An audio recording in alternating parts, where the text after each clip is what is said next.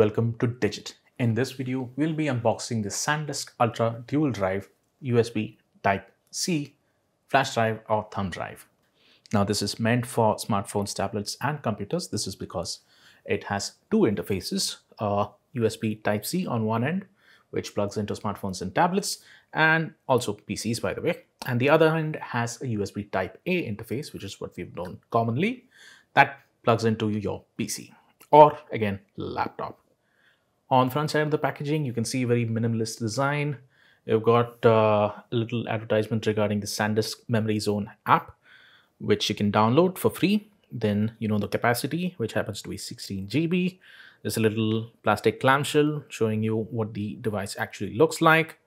And uh, this mention of the transfer speeds, which adheres to the USB 3.1 spec and gives you read speeds or write speeds of up to 130 megabytes per second. On the backside, you have a lot of uh, regulatory information as well as some uh, mention of the warranty period. There you go.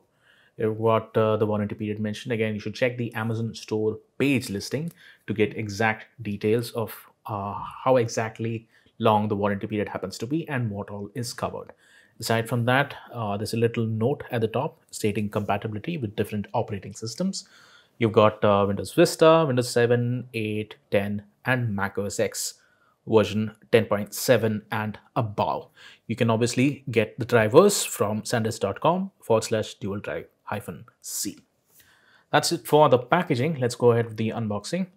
They've got a little dotted line on the top along which we'll be cutting and opening the packaging. Usually these things have notes on the inside of the packaging. We don't see anything. So you can dump this or throw this away. Sometimes the serial number of the software that is usually given free with the drives are printed on the inside. So you should always read that or rather inspect your packaging clearly. Then you have the thumb drive inside its plastic clamshell packaging. I'll pull that out and there you go. It's got a plastic and metal build. Plastic on the top side metal on the bottom. There are also little uh, holes or other inlets to sort of slip a lanyard or uh, strap into that makes carrying it easy. On one end you have the usb type c interface. On the opposite end you have the usb type a interface. And at the top a little handy slider that can activate either end. So you can either pop out the USB type A interface or you can pop out the USB type C interface.